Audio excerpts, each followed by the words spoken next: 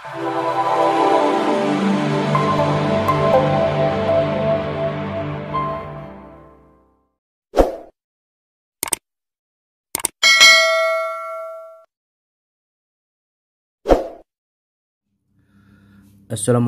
warahmatullahi wabarakatuh teman-teman. Berjumpa kembali dengan saya di channel Bahjanem Pada kesempatan kali ini saya akan berbagi tutorial Tentang cara setting router tenda 03 ini sebagai akses point menggunakan PC ya. Oke kita lanjut saja ke tutorialnya. Nah sebelum uh, kita setting kita nyalakan dulu alatnya ya. Caranya seperti ini. Ini ada splitter. Nah di sini ada DC PoE dan LAN ya. Nah jadi cara mencolokkannya ini PoE kabelan ya ini PoE kabelan yang ke arah alatnya atau ke arah routernya. Kita tancapkan. Nah di sini ada sebenarnya kelihatan ya PoE LAN atau WAN ya. Kita tancapkan ke yang paling ujung. Oke setelah ditancapkan. Nah sekarang bagian LAN bagian LAN ini karena kita akan setting menggunakan kabel ya yang ke arah PC kita tancapkan ke eh, kabelannya yang menuju ke arah PC nya ya ini LAN ini ke arah PC nah ke arah PC ya. Oke selanjutnya ini DC adalah kabel yang dari arah power ya kabel powernya kita tancapkan nah ini begini ya jadi diulang lagi DC dari arah power PoE kabelan yang ke arah router atau alat LAN adalah kabel LAN yang ke arah PC. Lalu kita lihat di sini. Nah, di sini lampunya sudah nyala ya. Kita tunggu sampai LED 1, LED 2, LED 3 menyala berkedip-kedip. Berarti ini alat e, tandanya sudah standby dan siap untuk disetting. Oke, kita tunggu beberapa saat ya. Nah, ini sudah berkedip-kedip ya tandanya sudah siap untuk disetting oke teman-teman kita lanjut saja ke tampilan PC nya kita akan lanjut cara pensettingannya Oke teman-teman sekarang saya sudah berada di tampilan PC atau laptop. Langkah selanjutnya eh, kita harus eh, merubah IP PC kita di satu segmenkan dengan IP default bawaan tenda 03 ya caranya kalian bisa ke setting. Nah bisa setting melalui sini atau bisa menggunakan e, lambang internet ini ya. Ini gambar bola dunia. Kalau di PC saya ada yang gambar sinyal mana aja sama. Caranya klik kanan pilih open network and internet setting. Oke lalu pilih ethernet. Ya. Lalu pilih change adapter option nah di sini yang aktif kan yang ini yang saya ya yang ethernet 2 klik kanan lalu pilih properties. Pilih internet protocol version 4 TCP atau IP v4 Oke kita klik di bagian use ya apa ya bacanya? Use the following IP address ya yang ini. Nah di sini IP addressnya kan default tenda itu 192.168.21 nah di sini untuk laptop jangan disamakan. Bisa kalian pilih dari 2 sampai 245 ya saya masukkan 192 168 2 nah saya ujungnya saya kasih 2 subnet masnya nah, seperti ini sudah nah di sini default gateway kita masukkan IP address dari tenda 03 tersebut ya. 192 168 2 titik satu. Seperti ini ya cara pengisiannya. Lalu klik OK. Nah ini ada ya identifying kita tunggu sampai selesai. Ini ada identifyingnya nah network 6 ya sudah terdeteksi kita keluar saja coba cek di sini Nih, sudah ada ya masuk network 6 not internet. Oke. Langkah selanjutnya kita buka Google Chrome. Ini kita masukkan IP default tenda 03 192 168 2.1 seperti itu lalu enter atau oke. Nah, ini sudah masuk ya. Di sini ada bacaan default username admin, huruf kecil semua, default password admin. Jadi kita masukkan admin. Ini passwordnya juga admin huruf kecil semua. Oke. Lalu kita login. Nah, sebelum kita setting uh, apa ke mode uh, access point, di sini saya biasanya merubah dulu uh, apa untuk loginnya ya yang tadi admin-admin itu kita rubah dulu. Kita masuk ke tool ya yang ini bagian tool lalu ke akun lalu ke administrator. Kita klik editnya. Nah di sini old passwordnya kan tadi admin. Ya lalu username eh, kita ganti yang baru. Saya contohkan misalkan bah seperti itu ya. Nah passwordnya janem huruf kecil semua ini konfirmasi password samakan janem huruf kecil semua.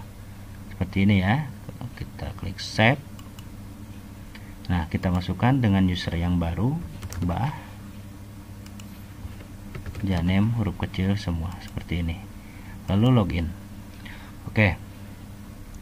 Nah sebelum uh, kita setting sebagai mode access point kita rubah dulu IP address yang ini ya.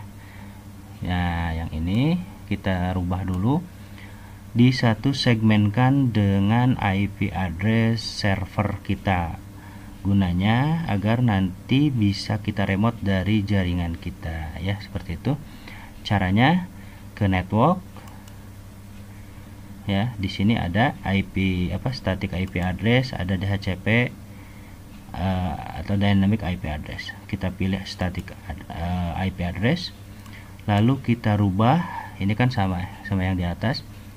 Kita rubah ke IP address server kita yang sudah kita alokasikan. Saya contohkan misalkan 87 87 ini disesuaikan dengan IP address server kalian ya.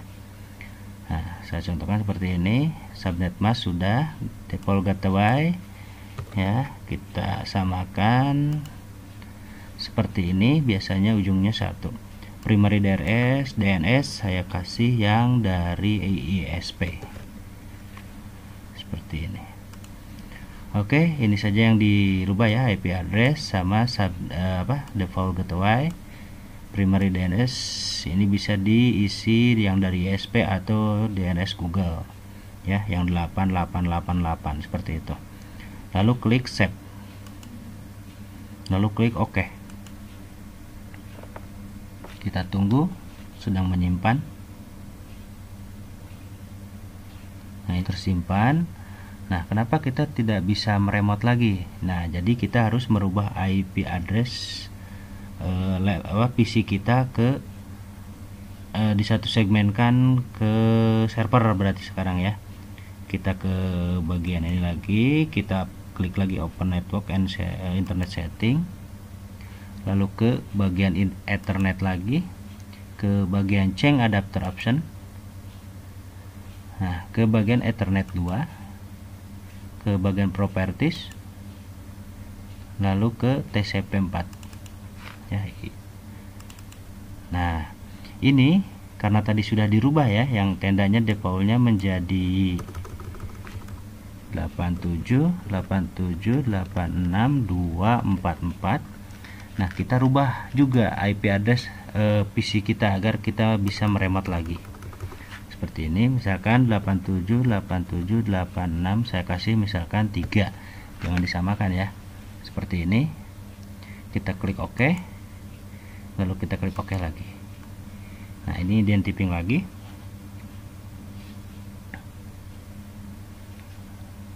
sedang mengiden nah ini nih udah ya network 6 sudah terdeteksi lagi. Kita keluar saja. Nah berarti di sini sekarang IP addressnya sudah rubah ya untuk meremot tenda 03 tersebut ke 8787862444 lalu enter. Nah ini sudah masuk. Tadi itu kan usernya bah passwordnya janem. Nah, oke. okay setelah kita merubah user login sama IP addressnya selanjutnya kita setting tenda tersebut sebagai mode access point. Oke kita lanjut. Ini kan sudah dipilih nih AP ya berarti access point. Kita pilih saja next. Nah di sini SSID kita rubah sesuai keinginan kita. Misalkan tenda 03 ini e, nama wifi nya misalkan Bahjanem seperti itu ya. Bahjanem nah channelnya silahkan pilih salah satu di daerah kalian yang masih kosong di daerah kalian masing-masing. Kalaupun misalkan sudah penuh ya saya biasanya memilih e, channel 1 6 dan 11 ini lebih stabil. Saya contohkan di sini pilih channel 6 ya. Seperti ini. Nah security mode saya kosongkan saja karena akses point ini akan digunakan sebagai WiFi bocoran. Seperti itu. Lalu klik next. Nah di sini the device is set to uh, apa apa klik save ya. Ini silahkan kalian klik save saja untuk menyimpan settingan yang barusan kita rubah. Seperti itu kita klik save Nah, di sini the system is rebooting. Jadi ini sedang reboot. Kita tunggu sampai 100%.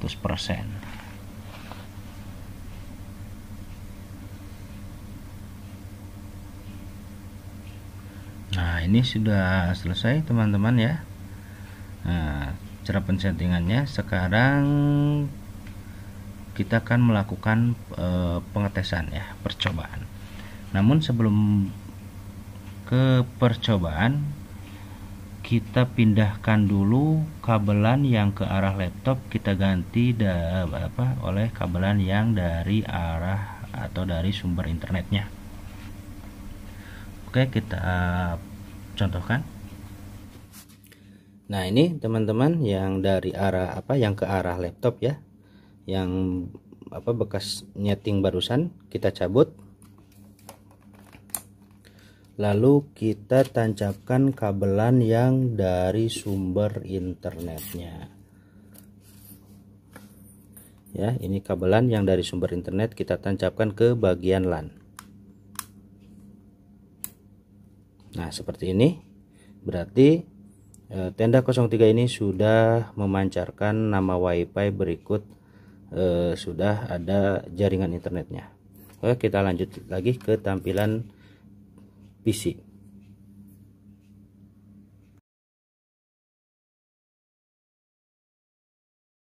Sini sudah langsung terkoneksi ya, Bahjanem. Barusan kan namanya Bahjanem, seperti itu ya. Action needed for Bahjanem. Oke, kita klik. Nah, kita langsung kita masuk masukkan ya ID-nya atau kode vouchernya seperti ini lalu klik masuk. Nah ini sudah terkoneksi dengan SSID atau WiFi yang dipancarkan oleh tenda 03 ya di sini Bahjanem connected seperti itu. Kita lakukan pengecekan dengan speed test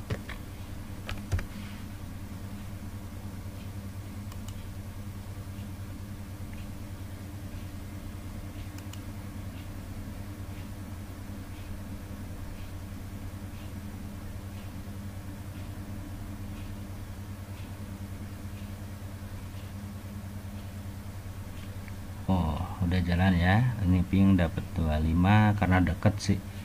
Jadi bagus. Nah, saya melimit untuk downloadnya ini di 4 Mbps. Untuk uploadnya 1 Mbps seperti itu. Ya. Oh udah jalan ya. Emang uploadnya saya kasih 1 Mbps nih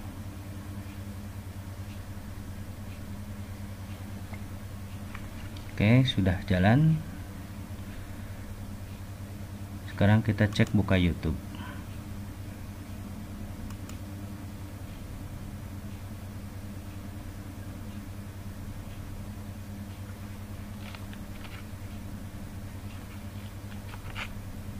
Oke. Kita cek uh, buka yang mana yang mana aja lah. Ini uh, apa YouTube-nya Kang Haji Dedi jalan ya. Jalan.